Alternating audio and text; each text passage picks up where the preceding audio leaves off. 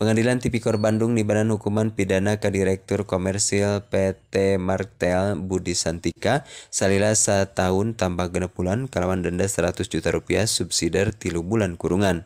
Dina putusan anak terdakwa Budi Santika kabukti secara sah turta ngayakinkan bersalah ngelakukan tindak pidana korupsi. Terdakwa ges nyogok sekdis perhubungan kota Bandung Manten Khairul Rijal gedena hiji koma tilu miliar.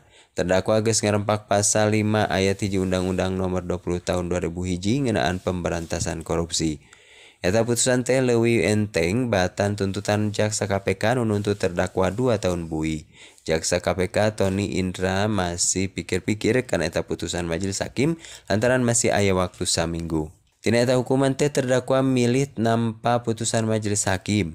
Dengan putusan ya, tentu akan kami lapor kepada pimpinan walaupun nanti apakah per tiga dan tuntutan nanti kita lihat nanti apakah itu pimpinan menerima atau melakukan upaya Sakumaha anu kabewarakeun terdakwa mere hiji koma tilu miliar ka Rijal salaku komitmen fee proyek 25% tina 15 paket pengerjaan kalawan gedena proyek genep koma dua miliar.